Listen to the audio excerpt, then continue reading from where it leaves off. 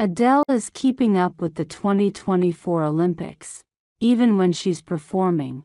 The Easy on Me singer, 36, paused her concert in Munich on Saturday, August 3, to tune into the women's 100 meter final taking place in Paris, according to a video posted on social media.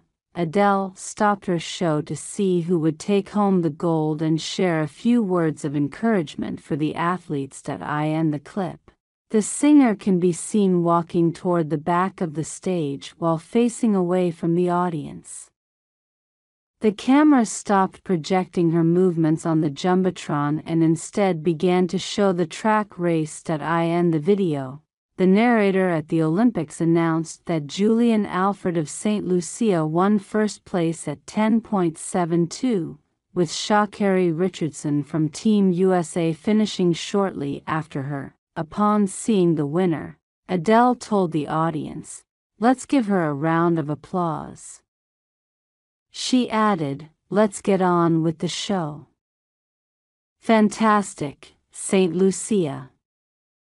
Another clip from a concert the night before shows the 16 time Grammy winner speaking about watching the Olympics.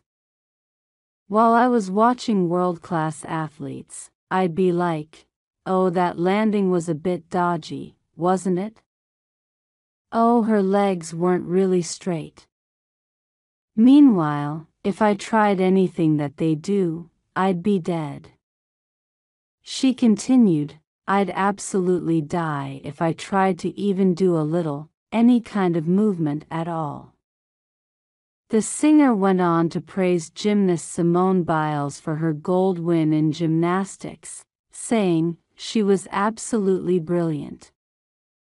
Adele is playing in Munich for select days through August 31st at the open-air venue Munich Messe, which seats 80,000 people. Per the website for the residency, this is the first time Adele has performed in mainland Europe since 2016.